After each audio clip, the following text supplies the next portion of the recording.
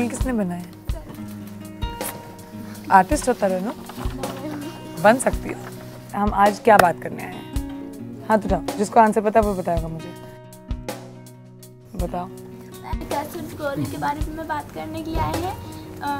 जो आप हमें रेकमेंड करते हैं। अनीमिया क्या होता है किसी को पता है? एनीमिया एक डिज़ीज़ है जो कि शारीरिक और मानसिक रूप से मनुष्य को प्रभावित करती है और उससे ब्लड की कमी हो जाती है।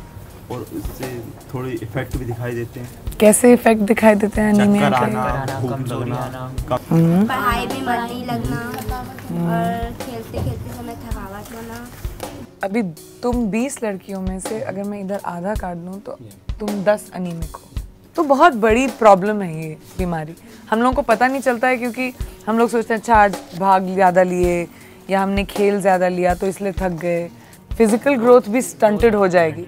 जितने तुम लंबे हो सकते हो उतने लंबे नहीं होंगे।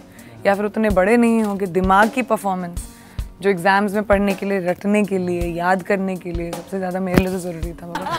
रटना। ये दवाई भी नहीं है वैसे यू नो ये एक्चुअली फ़ूड सप्लीमेंट है। जो पोषण हमारे खाने में शायद नहीं और वेजिटेरियन खाने में कभी कभी मुश्किल होती है डाइजेस्ट um, करने में आयन वगैरह।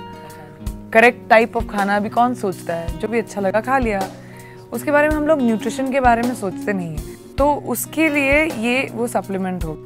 अब इस एक दवाई की वजह से कितनी सारी चीज़ें हमारी अच्छी हो सकती हैं। किशोर अवस्था हम सब की ज़िंदगी का बहुत ही अहम पड़ाव होता है, जिसमें हम सब बहुत ही महत्वपूर्ण शारीरिक और मानसिक बदलावों से गुजरते हैं। इस उम्र में खून की कमी यानी अनीमिया काफ़ी आम है, जिसके कारण कमज़ोरी, चिड़चिड़ापन और थकान जैसी शिकायतें आती हैं। खून की कमी से सीखने की क्षमता कम हो जाती है, जिसकी वजह से कक्षा में उपस्थिति भी प्रभावित होती है। सप्ताह में एक बार आईएफए की नीली गोली लेना किशोर अवस्था में विकास के लिए सहायक होता है। ये नीली गोली शासकीय शालाओं, आंगनबाड़ी केंद्रों और शासकीय स्वास्थ्य संस्थाओं में निशुल्क मिलती है। मैं आशा करती हूँ कि आप सब किशोर और किशोरी साप्ताहिक आईएफए की इस नीली गोली का सेवन ज़रूर करें Thank you.